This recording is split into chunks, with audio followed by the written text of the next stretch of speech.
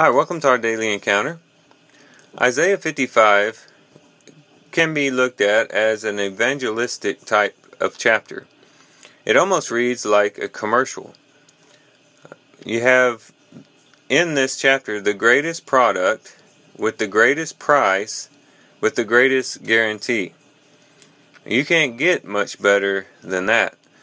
Uh, the greatest product being that of salvation the greatest price being that it is free, and the greatest guarantee being that it is God who is promising and offering uh, this salvation. And so you can definitely read Isaiah 55 like a commercial. You know, in our day and age, there are commercials everywhere. Um, you go to the movies and they have commercials before the movie. You watch TV, they have several commercials uh, scattered throughout a TV program. You drive down the highway and you have billboards with signs trying to get your attention, trying to get you to buy something or trying to get you to do something. Uh, we are just inundated with uh, commercials. And here we have uh, a good commercial. You know, in, in our society, sometimes commercials might be kind of annoying. They, they interrupt our TV program. But here, this is a good commercial. This is a commercial worth listening to. And it starts out getting our attention when it says, Ho, the New American Standard says, or other versions say, Come. And try and get our attention. Hey, you know, look over here. Come over here. See what I have to offer you. In the Middle East, you see this in the marketplace quite a bit, uh, where people are who are selling things, they, they're yelling out at you and they're trying to get you to come look at their product, look at their jewelry or whatever it is they're trying to sell. Um, here in America, we don't have that so much. If we go to the grocery store, you're pretty much left alone. Uh, you might see a greeter at the door. But over there, you know, everyone's trying to grab your attention. It's a little bit more chaotic. And, and this is in line with that type of thing. It's, it's someone calling out saying, Come, come over here, see what I have to offer you. And it's offered to those who thirst. It says, Everyone who thirsts, come to the waters. Um, this is something that could satisfy a person's thirst. You know, if you're a weary traveler back then and someone had uh, water to offer you, you know, they would say, Come, come over here, get something to drink. You look thirsty. Well, this is what the Lord tells us to everyone who is thirsty come to the waters that He has to offer. And, and that's the key. We have to each recognize our thirst. You know, there's a lot of times when you might be thirsty, you might be dehydrated physically, and uh, you may not necessarily recognize it. Maybe you're busy doing something, maybe you're working out in the yard, and you're so focused on what you're doing that you don't even notice how thirsty you are. Uh, but that doesn't mean that you're not thirsty, and it doesn't mean that you're not dehydrated. And there's a lot of people in the world today who are spiritually dehydrated. They are lacking what they need to to not only survive spiritually, but also to thrive spiritually. And the call to them is to come to the waters. You know, all of us are thirsty. Only when we drink of the waters of salvation that God has to offer are we really satisfied, are we really sustained.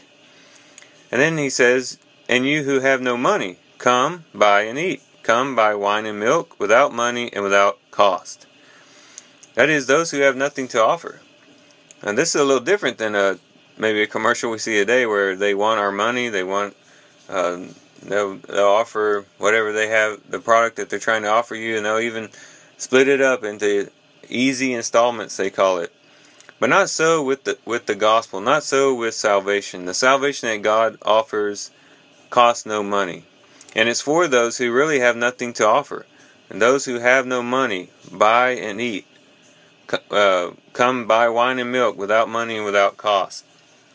matter of fact, really, the gospel message, the salvation that God has given us through Jesus Christ, really is for those who recognize the fact that they have no money. I'm reminded of Matthew chapter 5 and verse 3 where it says, Blessed are the poor in spirit. You know, and that's absolutely true. Those who are poor in spirit, those who recognize the fact that they are spiritually bankrupt, that they have nothing to offer God, they have nothing to give in return to the salvation that He has to offer. When we recognize how spiritually destitute we truly are, we are in the right place to then freely receive the salvation that he has to offer. And then verse 2 he says, Why do you spend money for what is not bread, and your wages for what does not satisfy? Listen carefully to me and eat what is good, and delight yourself in abundance. Kind of like a parent would say, you know, uh, come and eat what is good.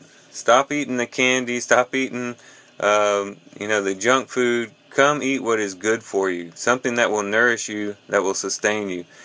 Um, and and spiritually speaking, maybe we do that as well. We we spend our time, our energy, our working, uh, only to still be hungry. You know, we're wore out at the end of the day and trying to fill that empty spot within our hearts. And all you know and at the end of the day we just find ourselves still hungry still thirsty not being satisfied. Whenever we try to reach out to this world to be fully satisfied within we always end up empty. And so the question is is why would we spend our time our energy all of our works to try to attain something that won't even satisfy us in the end. Why not get what God freely offers that doesn't cost us anything um, and receive satisfaction and receive sustenance? He says, Listen to me carefully and eat what is good and delight yourself in abundance. And so it's not just that we survive, that God gives us salvation so that we can survive and be saved from his wrath, but also so that we can have abundance. Not only have life, but have it in abundance. When he said, come buy wine and milk, you know, that's a little bit better than water, right? You know, wine uh, represents enjoyment. You know, when we come to the Lord, it's not that we just want to try to get by, but we want to have enjoyment. And the Christian life ought to be a life of enjoyment. And the milk re- represents nutrition and nourishment. And so what God has to offer us is more than just survival. It's, it's enjoyment, it's nourishment, uh, it's enrichment, it's a life of abundance. And he says, Incline your ear to or incline your ear and come to me. Listen that you may live.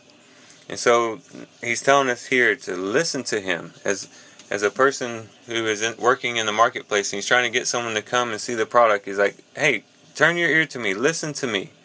You know, whenever you're trying to avoid someone, you typically turn your ear away, you might look down, not make eye contact. But what God has to offer, we need to turn to Him, turn our ear to Him, and listen to what He has to offer because it's a wonderful, wonderful thing. And so we have, so far, this greatest product, which is salvation, and we have the greatest price, uh, that which is without cost. And now let's look at the greatest guarantee uh, in the last part of verse 3 he says, And I will make an everlasting covenant with you, according to the faithful mercy shown to David. Um, and and he, he's calling back this covenant they made with David, and he stuck to that covenant. Even though there were some really bad kings in Judah and in Jerusalem, despite that, he still remained faithful to the covenant that he made with David, that he would never lack a man on the throne. And just as sure as that covenant was for David, it's sure for us that when we come to the Lord and we offer ourselves to Him and we commit ourselves to Him and we repent of the sins that we've committed and we come to Him with open arms to receive what He freely has to offer to us, it's a done deal. It's a it's a guarantee for us. Um, and so he goes on to talk about uh, I made him a witness, a leader, and a commander for the peoples. Behold, you will call a nation you do not know. Uh, talking about how the Gentiles even will be able to receive it, that this salvation would be worldwide. Anyone could come and receive it, drink of the waters.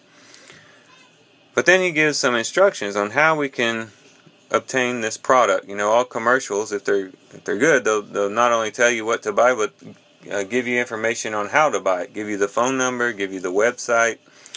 Well, here we have instructions. In verse 6 it says, Seek the Lord while he may be found.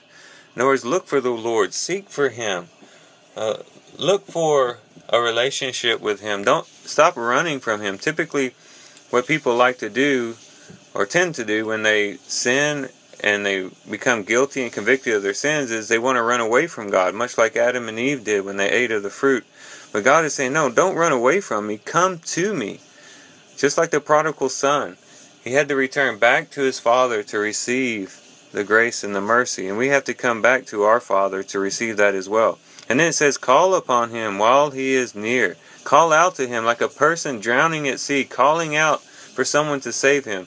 Like, uh, like someone who is caught in a pit or in a trap and they call out for someone to come and rescue them. We need to call upon the Lord and ask Him to rescue us from our sins.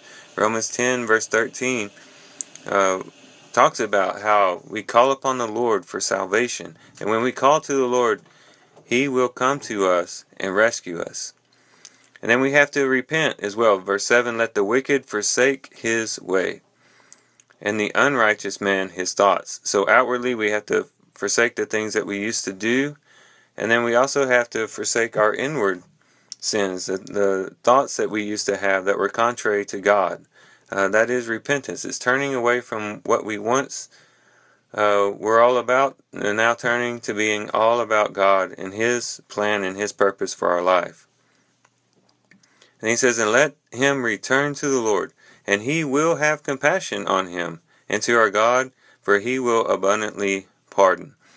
And so this is a guarantee that we can have. When God says He'll have compassion on someone, and when God says He will abundantly pardon, he is a God who does not lie, and He's a God who keeps His promises. And so when we turn to Him, He will have compassion and He will have pardon. Some people might think that they've committed a sin that's too grievous, too horrific for God to forgive. Well, to say that would be to make God a liar because He says that if we will seek Him while He is while He can be found, if we call upon Him while He is near, if we forsake our way, if we forsake our thoughts, our evil thoughts and we return to Him, He will have compassion on us and He will pardon us. That is a promise by God Himself. And to further the depth of this guarantee, in verse 8 he says, For my thoughts are not your thoughts, nor are your ways my ways, declares the Lord. This really gives us the assurance because with people, people sometimes let us down. Sometimes people give us a guarantee and don't fulfill that guarantee. But God's ways are not like our ways, and His thoughts are not like our thoughts. When He says He's going to do something, He does it. And He goes on to say, For as, as the heavens are higher than the earth, so are my ways higher than your ways, and my thoughts than your thoughts. So these are some things we can think about today. Um, if we've already received this water that God has given to us, let's continue continue to drink this water. Because even after we find salvation, there might be times that you know, we become spiritually dry. Let's return back to what we know about the Lord. Let's let's go back to to the basics. Sometimes we need to do that and recognize the fact that we are here by the grace of God and we are who we are by his love and his mercy. And not to forget that and to begin to think that somehow we are who we are because of what we have done or how great we are or how good looking we are or, or whatever else. It's solely upon God's free grace that we receive the salvation that He has to offer. And let's take this, the message of this chapter, uh, to our friends, to our relatives, to our coworkers, and let them know that there is a God who offers salvation. He is the living and true God, and He offers salvation to those who are thirsty, those spiritually dehydrated, those spiritually bankrupt, and He'll not only give you the water to drink, but the wine and the milk to enjoy. So these are some things to think about. I thank you guys for listening in today. Love you guys. Hope you guys have a great day. God bless.